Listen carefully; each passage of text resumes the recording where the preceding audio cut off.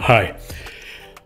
AI image generation is great to create stunning photos and is getting more amazing every day. However, when it comes to creating flowcharts or diagrams, these tools, at least as of today, will fail. However, you don't even need any fancy tool that is specified in this kind of task, but you can use any LLM you would like to create accurate and perfect flowcharts and diagrams. So in this quick tutorial, I'm going to show you how you can do this. And the only thing you need for this is to take any large language model provider you would like. So you can use Claude Sonnet 3.5, which has just been released, or you can use ChatGPT GPT-4o, which we are using, or you can use Mistral, Perplexity, any large language model provider that you prefer.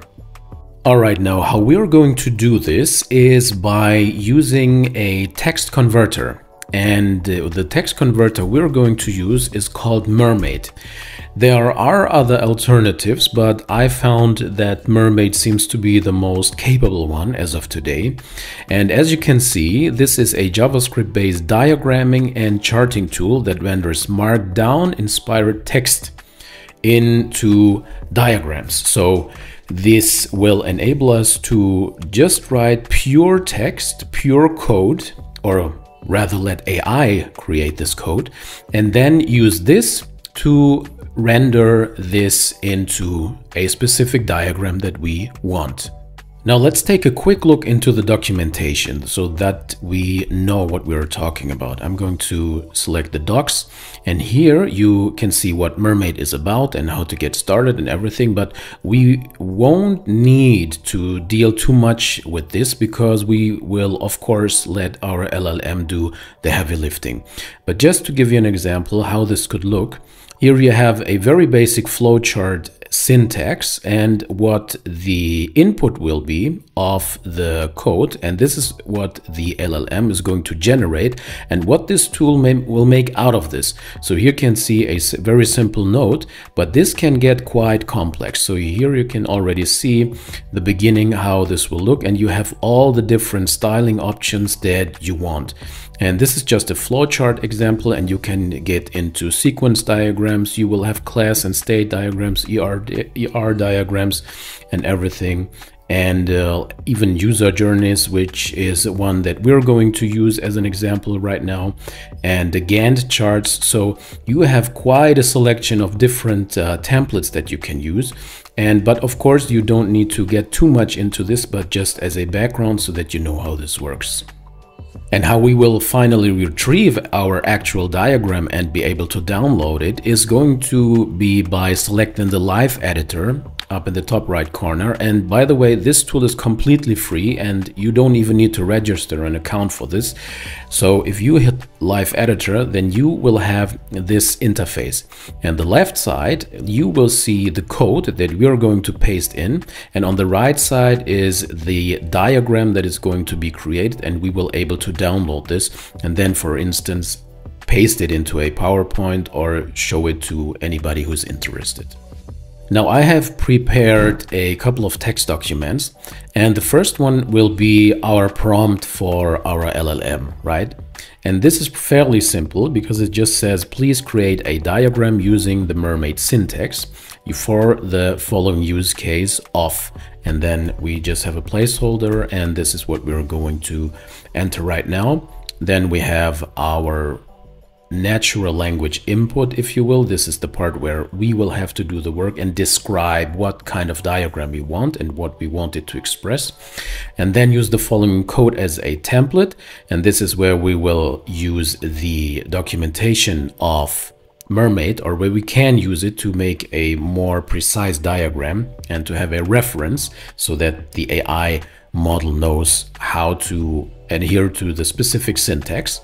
And then just a little hint, because this is something that I have experienced. This is a note from the docs itself themselves actually if you're using the word end in a flowchart capitalize it otherwise it will break the flowchart and this is just a simple side note Alright, now the second and third document is just an example of what you could have created right? So let's take a user journey, for instance. So we will create a diagram for a user journey where a user is purchasing a product on an e-commerce website. So you have the persona and then you have the goal and then of course the stages of the user journey, user journey, what it's going to go through. And this is just an extensive description of the process that you would want to display as a diagram. And the second one is a vacation planning trip, a step-by-step -step guide, and then uh, start the process. The journey begins with the initial decision to take a vacation. This is the starting point of our planning process, and so on and so forth. So this is the part where we will have to do the work and we will describe to the model what kind of diagram and what chart we need and want. All right, now let's combine these documents. So we're going to finish the first sentence. Please create a diagram using the mermaid syntax for the following use case of a user. And then we're just going to take our title, purchasing a product in an e-commerce website. Now, then we have the description of that process. We're just going to take the stages, copy this, paste it in here and use the following code as a template. And this is where we could use the docs of mermaid. So we want to create a user journey right? So this is the one where we are heading. And then we can just take any kind of code snippet. So just that we will give the AI a hint of what it's going to look like all right, and that's already it. So now we're going to save this and paste it into our AI model. All right, now select all of these and go back to our AI model. I'm using ChatGPT for this use case. We're using GPT 4o and we're going to just paste this prompt and see what we get out of this. Hit enter see what it's created. And now you can already see that it's creating the final code that we will just paste into the mermaid renderer. All right, now let's check this. This seems to have worked. We're going to copy this and now we're heading back to our live editor and just paste the whole code inside of here. And now you can already see going to hit reset and zoom in a little of what this has created. And this is already our final diagram. And here we can see we have awareness, consideration, and so on. Sarah decides she needs new running shoes, I believe. Yes, new running shoes. And lands on homepage and everything that we have created using our description. And this is basically already it.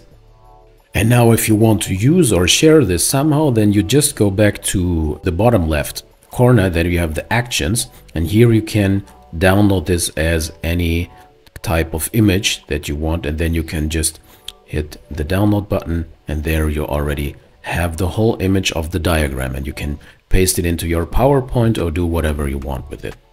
Awesome, now this worked fantastic actually. And let's try another example. So we have used the user journey and let's take a vacation flow chart. So we're going to take our description again, paste this into our prompt and we need to adjust the first sentence. So create a diagram using the syntax for the following use case of planning a vacation.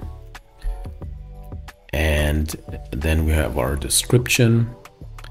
And use the following code as a sample. Now as for the flow chart that we want to use if we head back to the documentation then you can see that the flow chart is fairly simple, or rather it goes into much detail and expands this. So what kind of template you would want to use, that depends on your personal preferences. So I'm just going to, let's take this one and just as a reference for the model and save this and now paste this into our AI model.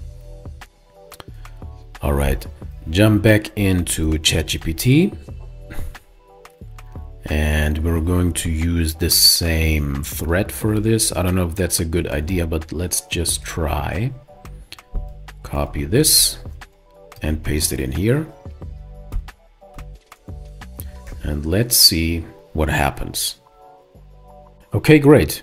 It did create the flow chart. We're going to copy this, jump back into our live editor. Let's just minimize this, paste it in here, and let's see what happens. And here you can also see that this has worked perfectly as well. Going to reset this so that we can have a look at the whole thing. And um, here we have our whole process. Now, if you don't like the design, by the way, there are a lot of customization options. And in case you would want to use a specific style, then you would need, of course, to uh, tell the AI model what kind of style you want. But in general, this should be fairly simple in regards to the AI model understanding of what you want. If, for instance, you would want to use italics or bold or any kind of color or you want to change the orientation, then it will adhere to the syntax and create the whole code for you. Now as a final step, just for comparison, because I mentioned that we don't necessarily need ChatGPT for this, but we can use any kind of AI model that we want. So let's try out Perplexity and see what this gives us. We're going to use the same prompt as before. And let's take the flowchart again, paste this into Perplexity and see what comes out of this.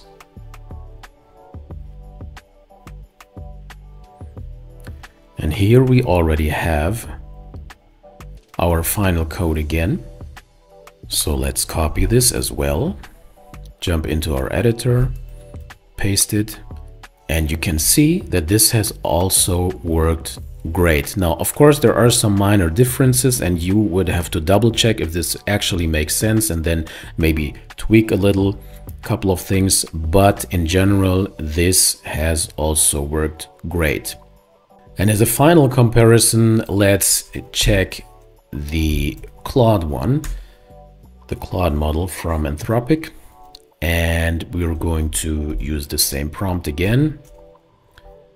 Paste this here, hit enter, and see what this comes up with.